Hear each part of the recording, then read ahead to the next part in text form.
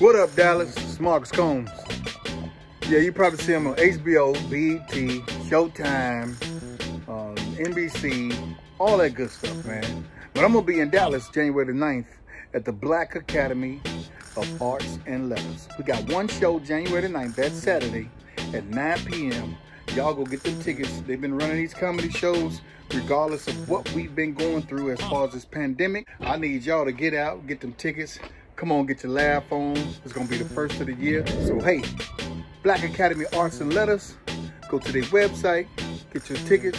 Come on out and let's have a good time because I'm gonna be pumped and ready. And I'm gonna stay masked up so I won't get sick so I can make it to that show to Dallas, Texas. See y'all January the 9th. Comedian Marcus Combs. Google me if you don't know me. I'm out of here. See you Saturday.